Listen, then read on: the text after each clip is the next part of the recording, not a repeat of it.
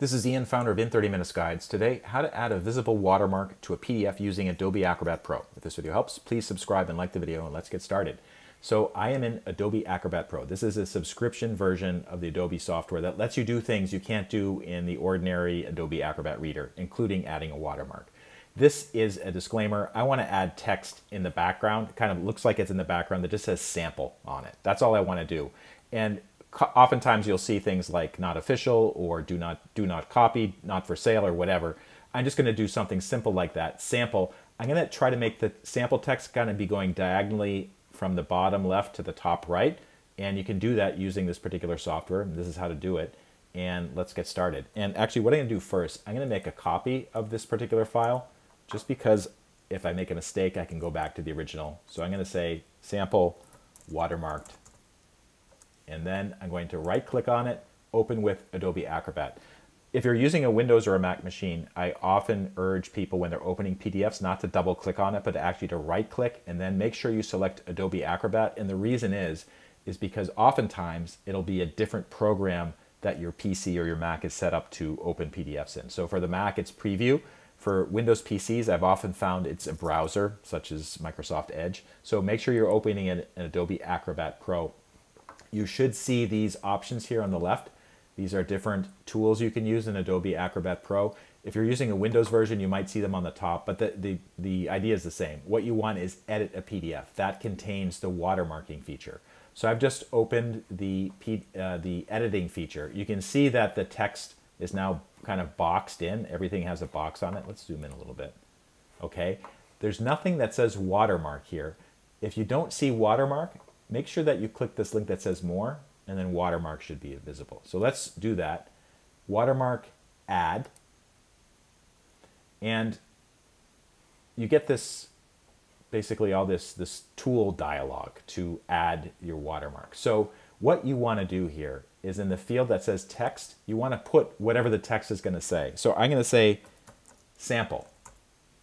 And you can see that it previews sample. So if I press OK, you can see that the watermark is kind of right there. Now let's get out of edit mode. The problem is it's too dark and it's not diagonal and I don't like the positioning. So I want to change that so it's it's easier to work with. So it doesn't it doesn't like stand out like that. I want it to be like kind of a light gray and you can barely notice it, but it'll be visible to people. So let's go back to the edit tool. So I don't see it over here, so I'm going to click all tools edit a PDF, more, watermark, and then update. So you can see it shows the text again. Now, the first thing I'm going to do is I'm going to change the color. So it gives you all these options like RGB sliders. There's an option here that says pencils, which is, I think, the easiest way to do it. So I'm going to choose this like uh, Mercury. Now the problem is that's not visible at all. So maybe what I want to do here is go back to black, licorice that they call it, and then see if I can find something where I can, I can, I can fade it. It's not letting me do that. Oh, opacity, here it is. So I'm going to change the opacity. 48%, still a little bit too dark. I'm going to make it like, yeah, like that, 23%. The other thing you can see, it says appearance rotation, negative 45 degrees, 45 degrees custom. So let's see what happens when I do 45 degrees. That's actually what I want, okay? If I did negative 45 degrees, it would be the other way around. So I'm gonna do it 45 degrees. If I wanted to be custom, I could select custom and then maybe like lower it a little bit, like that.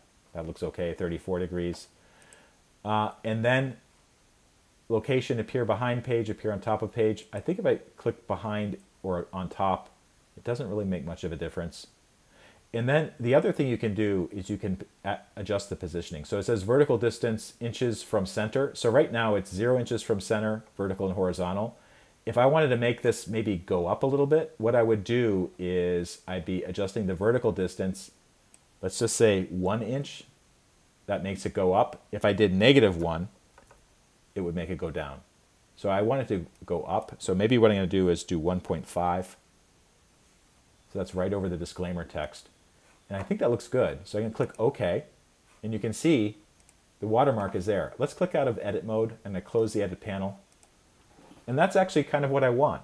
And I could go back and I could fiddle with the text so it's maybe fainter or bigger or smaller or a different font or whatever. But this is the basic idea for adding a watermark. There's other things you can do with watermarks in Adobe Acrobat Pro, including using images. But I found that uh, the doing things like that, it's not as intuitive. Things happen. Like one time I tried to use a logo for a watermark and put it in the background, and I couldn't get it to be opaque. It was just basically sticking right there. Uh, sometimes I've seen people put watermarks very small in the bottom corner or something like that, and that's fine too. But that's the basic idea. You're using Adobe Acrobat Pro edit mode, selecting the watermark tool, and then fiddling around until it looks the way that you want. And then when I distribute this particular PDF to people, make sure that I save it first, um, they'll, when they open it up, they'll see the same watermark. If this video helped, please take a moment to like it and subscribe. I have links to more resources in the description, and I'll see you next time.